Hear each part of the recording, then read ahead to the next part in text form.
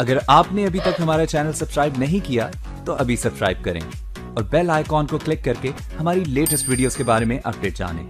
Subscribe कीजिए और हम आपको लिए चलेंगे आपकी फेवरेट वीडियो की तरफ मैं दावत देना छोटे बिरा सरदार सफदर खान ਨੂੰ ਤੇ ਢੋਲਿਆਂ ਦਾ ਇਬਤਦਾ ਕਰੇ ਉਸ ਤੋਂ ਬਾਅਦ ਵਾਰਾ ਹਾਮਦ ਸ਼ੇਰ ਉਸ ਤੋਂ ਬਾਅਦ ਗਾਦੀ ਉਸ ਤੋਂ ਬਾਅਦ ਬਰਿਆਮ ਰਮਾਣਾ आप सफदर खान आ करो।